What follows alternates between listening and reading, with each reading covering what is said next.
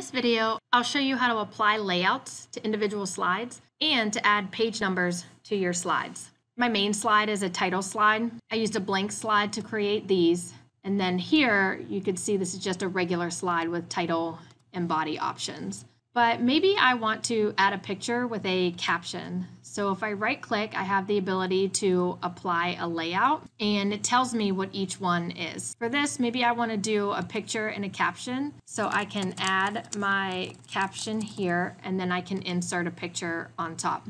If I didn't already have a slide that I wanted to change the layout to, I can also come up here and instead of hitting the plus sign, which will automatically give me a slide, I can come over and hit the drop down arrow and then decide what slide I want. So maybe now I need a section header that leads me into my next section. So that's how you can quickly and easily change your layouts. Another thing I like to do is to add page numbers to my slides. For easy navigation, as I talk to students, I can say go to slide seven or go to page eight in your slides.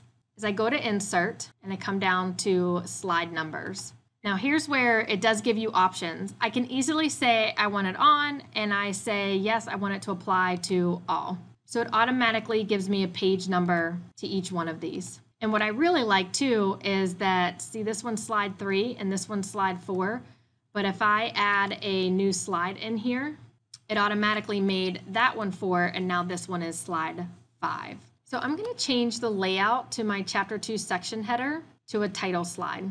So right now there is a page number on this, a page six, but if I come back to insert and come down to slide numbers, if I select skip title slides and I click apply, see my page number disappeared and my page number disappeared from the first one. And now my page two is still here, but I no longer have a page one and I no longer have a page on this one even though the number counting continues. So that gives you a few options when you're adding page numbers.